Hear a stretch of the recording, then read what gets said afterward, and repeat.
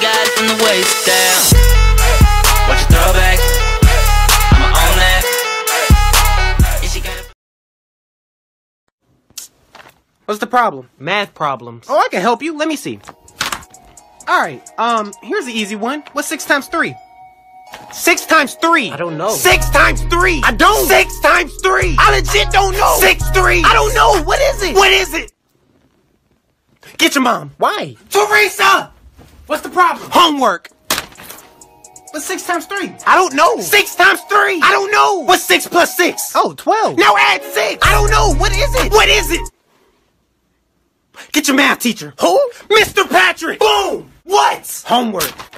I taught you this. What's six times three? I don't know. Look, if Johnny had six times three amounts of this soap, how much this soap would he have? How much? How much?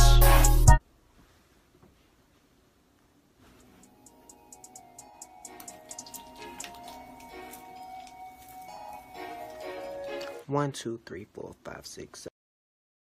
Bounce that booty like a basketball. If you don't, don't shake it at all. Bounce that booty like a basketball. If you don't, don't shake it at all. Bounce